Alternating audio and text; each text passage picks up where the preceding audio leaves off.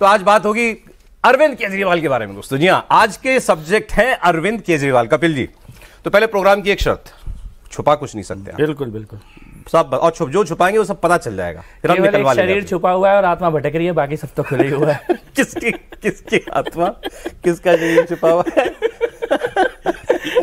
सच्ची नहीं है। आज के शो की हेडलाइन यही है। केजरीवाल जी का शरीर छुपा हुआ आत्मा भटक रही है। आपके नहीं नहीं अब ये उनकी पार्टी ने कहा था नहीं नहीं उनकी पार्टी ने कहा ना कि आप महसूस करो केजरीवाल जी। बहरहाल बहरहाल बहरहाल। तो अच्छा। अरे ये तो आप, आप तो कौन, कौन से फ़ेज़ से जुड़े आप अरविंद केजरीवाल से? कब जुड़े थे आप? जिस फ़ेज़ में उन्होंने कस्में खानी शुरू नहीं की थी बच्चों की। नहीं खाई थी। तब मैं जुड़ा हुआ था। पहले पहले इलेक्शन से जुड़े हुए आप? नहीं नहीं आरटीआई जब वो आरटीआई एक्टिविस्ट थे परिवर्तन में दिल्ली यूनिवर्सिटी में जब आरटीआई के लिए एप्लीकेशन डाली गई थी तब यूनिवर्सिटी में वो जो पूरा आंदोलन था कि स्टूडेंट्स को आरटीआई के तहत अपनी आंसर शीट मिलनी चाहिए उस आंदोलन ये सर्विस में थे तब? हूँ। नहीं तब ये परिवर्तन में आ गए थे। अच्छा तो नौकरी नौकरी छोड़ दी थी नौकरी छोड़ नौकरी भी छोड़ दी तो आपने मतलब इनके साथ धक्के धक्के भी खाए सड़क सड़क सड़कों साथ में नहीं खाए हैं ये कहीं अलग खा रहे थे लेकिन हम लोग दिल्ली दिल्ली यूनिवर्सिटी में आंदोलन कर रहे थे।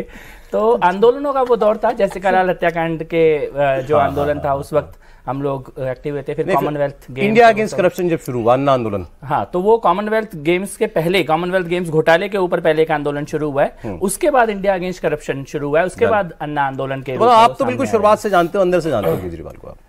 कह नहीं सकते तब तो केजरीवाल कुछ नहीं थे ना। हाँ। तब तो केजरीवाल कुछ नहीं थे ना। हाँ तो अब कोई भी नहीं कह सकता कि अंदर से जानते हैं। वो हर दिन अंदर से आत्मा से।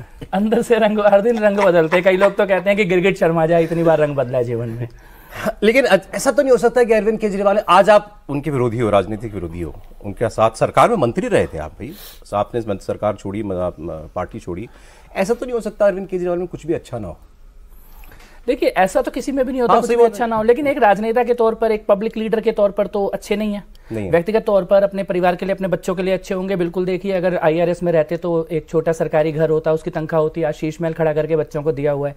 तो एक परिवार के तौर पर डेफिनेटली उनके बच्चे सोचते होंगे एक अच्छे पिता मिले एक अच्छी मुझे मुझे अरविंद केजरीवाल की पर्सनालिटी की कोई ऐसी बात बताइए जो आपको लगा चलो भाई ये इस, इस लिहाज से आदमी ठीक है कम से कम। हाँ तो वही तो मैं बता रहा हूँ अपने बच्चों के लिए अपनी फैमिली की हाँ एक सरकारी अफसर की तरह काम करते उससे ज़्यादा कमा धमा के अपने बच्चों के साथ पुश्ते तार के गए आप जब केजरीवाल जी के साथ जो है आप जुड़े थे और आंदोलन वगैरह में कभी उस वक्त लगा था कि यार ये आदमी मतलब इतना बड़ा बन जाएगा आज एक नेशनल पार्टी बना ली है दिल्ली में सरकार है उस वक्त नहीं हम लोगों को तो- हमेशा ये भरोसा था क्योंकि किसी व्यक्ति के लिए तो आंदोलन हो नहीं रहा था एक मुद्दे पे हो रहा था वैकल्पिक राजनीतिक हम्म। व्यवस्था के लिए हो रहा था। और उसमें ऐसा लगता था कि इसकी सफलता सुनिश्चित है चाहे कितने भी संघर्ष करना पड़े।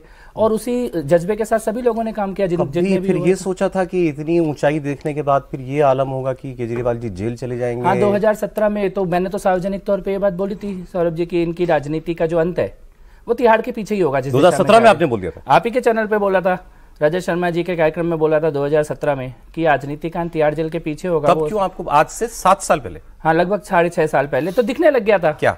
कि एक आदमी काले धन में हवाला में काम करते हुए भी वो झिझक नहीं रहा है। उसी तरह के लोगों को अपने आसपास इकट्ठा कर रहा है। उसी तरह के एक कोटरी बना के काम अपनी आँख से देखा हो आपने वो बताइए। तो वही सब ये देखा था कि जब कहते थे कि चंदा पारदर्शी होना चाहिए। चंदा हटा लिया गया था वेबसाइट से। विदेशी यात्राएँ बतानी बंद कर दी गई थी कौन कहाँ कहाँ पे जा रहा है। उस प्रकार का बदलाव और उसके बाद पंजाब के चुनावों के समय तो सारे देश नहीं देख लिया। तो पहला चुनाव था जब आप हटे हो जब आपने कहा कि आप आपको ये बोलना पड़ा कि इनका अंत तिहाड़ जेल में होगा कौन था इनके इर्द गिर्द? किसकी सुनते थे? क्या हम्म। सत्येंद्र जैन विजय नायर यही लोग थे। विजय नायर तब से? हाँ विजय नायर उससे भी पहले से है। तो वो लोग पैसा लेन देन और उसी वक्त मैंने इसीलिए हवाला और विदेश यात्रा दो मुद्दे मैंने उस वक्त उठाए थे। और आज दोनों मुद्दे सामने देश के दिखाई दे रहे हैं। ईश्वर की कृपा से जल्दी हो गया।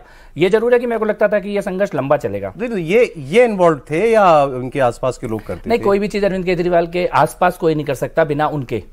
और किसी भी ने, नेता के आसपास कुछ तभी होता है जब वो नेता खुद करवाता है। तो किसी भी चीज़ में ये इन्वॉल्व नहीं है ऐसा मान लेना। ये बेनिफिट ऑफ़ डाउट देना। मुझे नहीं लगता आज जिस स्थिति तक चीज़ें पहुँच चुकी है, अब भी कोई बेनिफिट ऑफ़ डाउट बचता है।